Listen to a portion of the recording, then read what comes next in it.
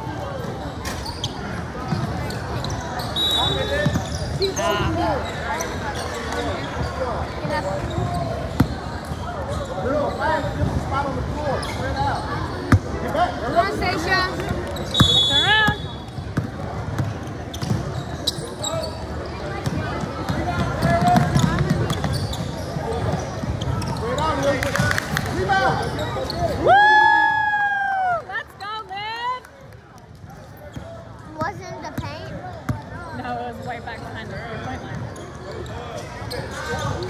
line.